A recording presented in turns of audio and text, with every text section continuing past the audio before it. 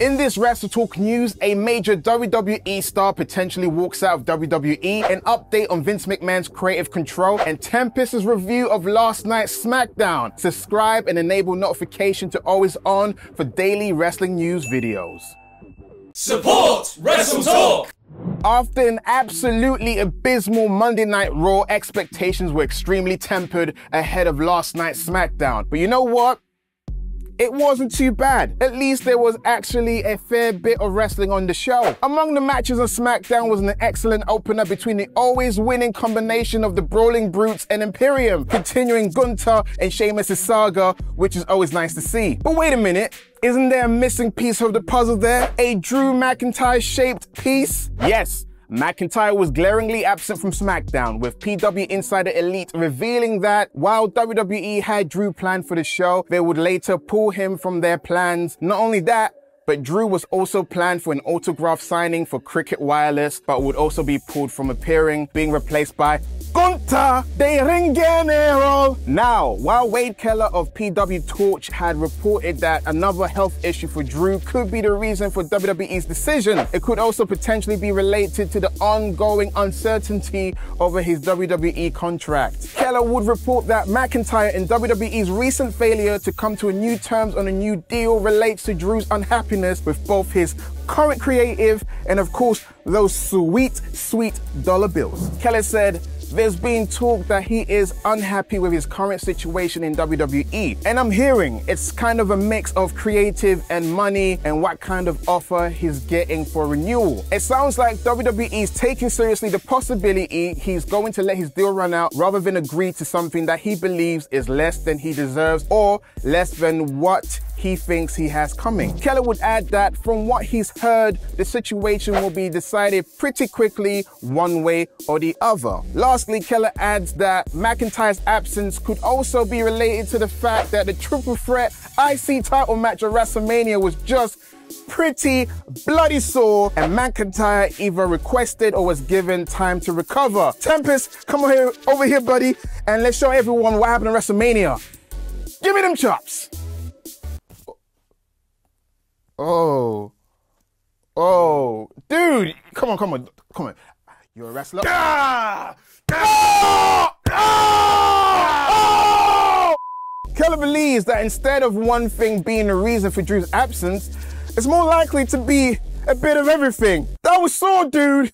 You asked for it. I feel like my nipple's gonna fall out. While McIntyre may not be too pleased with WWE's creative, I think it's safe to say we all share that sentiment following a one-two punch of Cody losing to Roman and Monday's Raw. So, when it came to SmackDown, the apprehension was at all-time high, especially given WWE's announcement that Triple H was set for yet another WWE Universe address. Would he be leaving? Would he be publicly re relinquishing control back to Vince? Nah, he just announced the draft. Ew. Well, thankfully, at least on the surface, the Triple H era resumes. However, did the black cloud of Vinnie Mac still looming over SmackDown's creative plans? Was he there in the flesh, ripping up the scripts and replacing them with almost matches? No more sapien. Don't worry about that. Fightful Select would report on Thursday that higher-ups within WWE believed and hoped that SmackDown would return to the type of show we saw during Triple H's creative. And thankfully, as we mentioned earlier, the show wasn't too bad, which would obviously suggest that this wasn't a Vince show and like Raw. According to PW Insider Elite, Vince was in fact not in Portland for SmackDown. However, Figure 4 Wrestling Online's Dave Meltzer would reveal that he did review creative plans remotely, but only made minor changes to the script. This would seem to be the case as unlike Monday, Fightful Select's traditional rundown of SmackDown would prove to be 100% accurate to what ended up taking place. While this is obviously a cause for celebration and optimism, woo yay, PW Insider reported that there is a wait and see attitude backstage. However, morale has reportedly improved since Monday. Would you look look at that. Vince's lack of presence equals happiness. Take a hint, pal. Take the hint. Thailand also reportedly feels that if Vince continues to only be present remotely going forward, then shows should continue to be run in a similar creative fashion as prior to WrestleMania. The hope in the locker room is that Vince was only so heavily involved with Raw due to him already being in LA for Mania, and maybe if last night was any indication, that could be the case. All right, was well, yeah, fingers crossed. All right, ladies and gentlemen, after many, many weeks of handshakes, I might bring in my tag team partner, Tempest, coming, coming to the camera. It's time for the greatest handshake in all of handshakes in Wrestle Talk history. You ready? Sure. All right, have me up. Uh, uh, uh, uh, uh, Hey, too sweet. Yeah, you did it.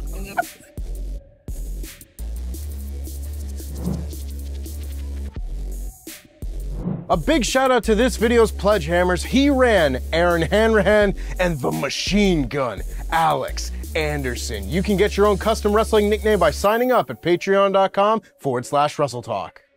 Yeah, you know, we'll, we'll, we'll get there, Sat. We'll get there.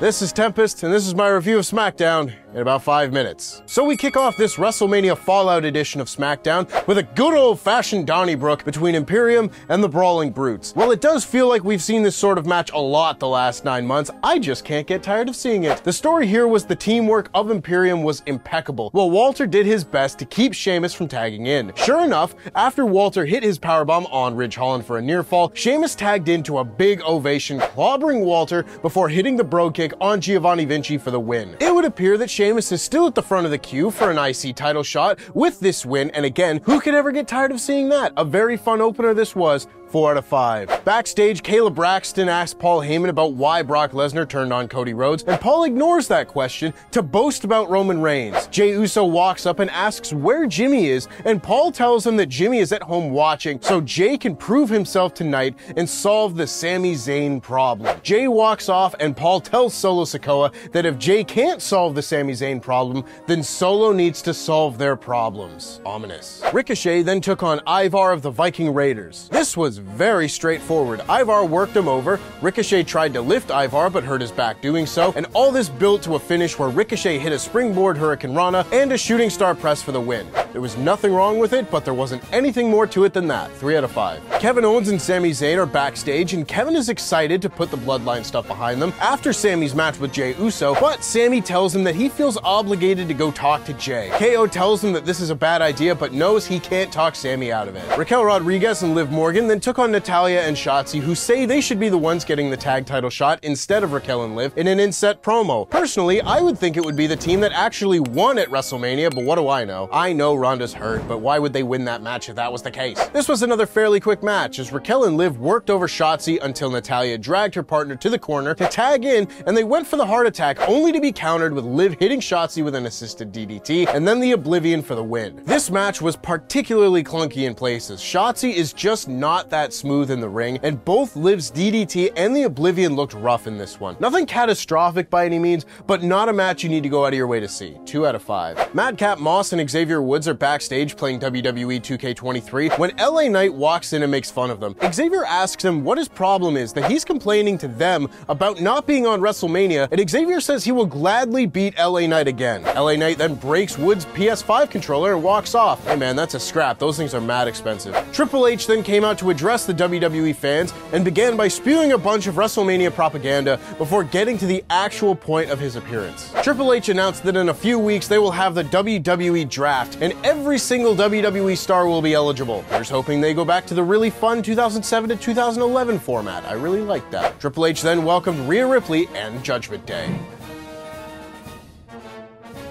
Rhea says April 1st, 2023 will go down in history as the day that WWE changed forever because she beat Charlotte Flair. Finn Balor then says that Edge had to split his head open in order to beat him, and yet he is still standing. Then Dominic got on the mic and got nuclear heat. Like night after WrestleMania 33 Roman Reigns levels of heat. Dominic says he couldn't hurt his dad, but that's more than Ray could do, and says his family can go to hell. They show the recap of Bad Bunny getting attacked on Raw, and then Damian Priest said he hopes Bad Bunny can forgive him because he has forgiven Bad Bunny for making him do what he did. Rey Mysterio and the LWO then came out for their tag match with Dominic and Priest. This was more entertaining stuff. Santos Escobar got worked over in the early goings before giving Rey the hot tag as Rey tried to hit the 619 on Dominic only to be stopped by Rhea Ripley. Zelina Vega hit Rhea with a Hurricanrana and Priest got a blind tag just as Rey hit Dominic with the 619. Santos went for the Phantom Driver, but Priest hit him with the South of Heaven for the win. I don't really know what the direction I would like to see all this go in is, but this very much felt like a match that could have taken place before Mania,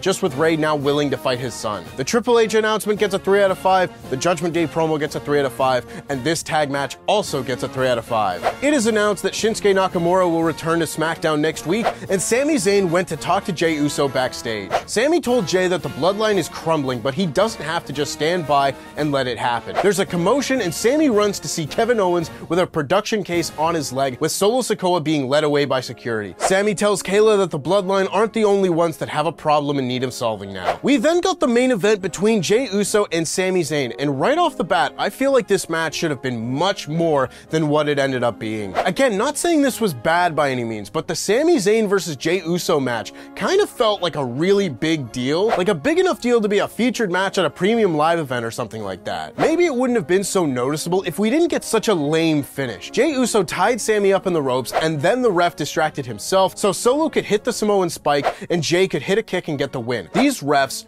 are so bad, y'all. And I'm starting to get really sick of this constant outside interference. And I know that's kind of been the story of this whole bloodline thing, but they're getting really lazy with it, and it's really making these matches suffer. Maybe I'm just sour because this is real close to the finish of WrestleMania that I did not like at all, but this had me down. After the match, we had a nice touch as Solo went to hit the spike again, but Jey stopped him before super kicking Sami and telling Solo to get a chair. This is when Matt Riddle made the save and chased off the bloodline to close the show. This was a decent enough main event segment, but for Sami versus Jey, I was really hoping for more. 3 out of 5. And so overall, this was kind of a middle of the road episode of SmackDown. The action and everything was solid, but I don't think anything on the show actually felt like it had progressed since WrestleMania. Also, still no call-ups in case anybody was wondering. This SmackDown gets a 3 out of 5. But before we get out of here, of course, Sat and I have a meeting with Pete, and before I get to that, make sure that you check out the first video on our new channel cutscene entitled The Perfect Mario Brothers Movie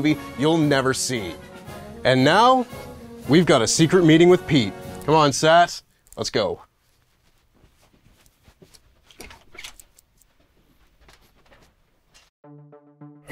I've gathered you both here because everybody else has got WrestleMania now. We are the only things left between Wrestle Talk and Chaos. Wait, Okada's here? No, wrong Chaos. Oh. Well, what do we do? I don't know. We can always join them. No, Sam, why would we join them? It's just a suggestion. Look, we don't even know if this thing is reversible, if there's a weakness. We have no intel whatsoever. Honestly, I'm out of the loop. What are these um, WrestleMania symptoms I should be looking out for? Well, you might start talking about unrelated wrestling things, quoting promos, cutting your own promos on stuff, but the biggest giveaway is when you start wearing costumes. Is it me or is it hot in here? I neither get hot nor cold. No, it's it's pretty mild. Damn, I feel hot. My temperature's rising. Where did that jacket come from? Wait, you've got WrestleMania too! I've always had WrestleMania. I'm patient zero, baby. Now hot tag me, brothers. So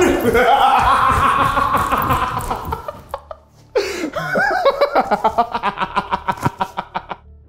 ever looked at the 1993 Super Mario Bros. movie and thought, why doesn't this look anything like Super Mario Bros.? I got a feeling we're not in Brooklyn no more. Nintendo probably thought that too. After all, there are claims they even considered putting it in a vault so that no public eyes would ever see it. It's basically the video game equivalent of Roger Corman's Fantastic Four.